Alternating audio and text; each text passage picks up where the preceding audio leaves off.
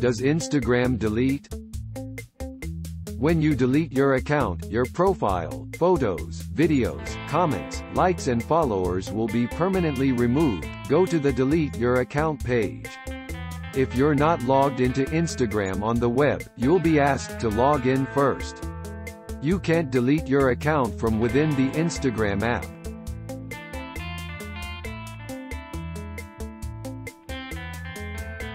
Thanks for watching.